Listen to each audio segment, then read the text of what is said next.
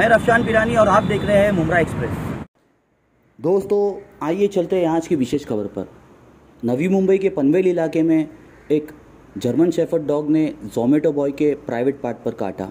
जी हाँ दोस्तों, पिछले दो या तीन दिनों से सोशल मीडिया पर वीडियो वायरल हुआ है, जिसमें बताया जा रहा है कि ये वीडियो 29 अगस्त का है, जो कि Indiabulls Greens Marigold cooperative housing society limited Panvel में है। जोमेटो डिलीवरी बॉय जिसका नाम नरेंद्र पेरियार बताया जा रहा है सीसीटीवी फुटेज में आप देख सकते हैं, जैसे ही वो लिफ्ट से अपना कदम बाहर रखता है, वहीं पर एक मौजूद जर्मन शेफर्ड जो कि पालतू कुत्ता होता है, वो सीधे उस जोमेटो बॉय पर अटैक करता है और सीधे उसके प्राइवेट पार्ट यानी कि पेशाब की जो जगह होती है, वहाँ पर हमला करता है।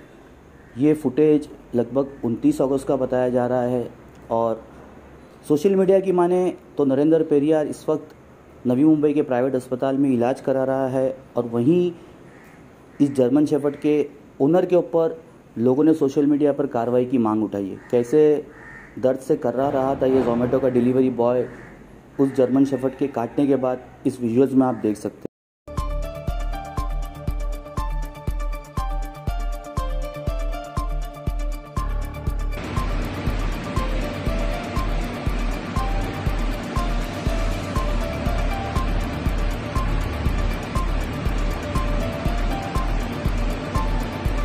नहीं नहीं वो रहा अरे नहीं उसको चेहरा दो अपना चेहरा चेहरा।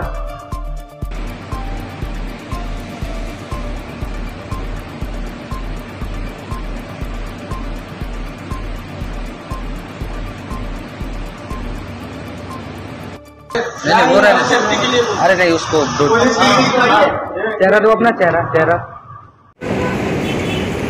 धन्यवाद दोस्तों। ऐसी ही बेबाक खबरों के लिए जुड़े रहिए मुमरा एक्सप्रेस पर। ऐसी ही दिलचस्प खबरों के लिए सब्सक्राइब करें शेयर करें और लाइक करें।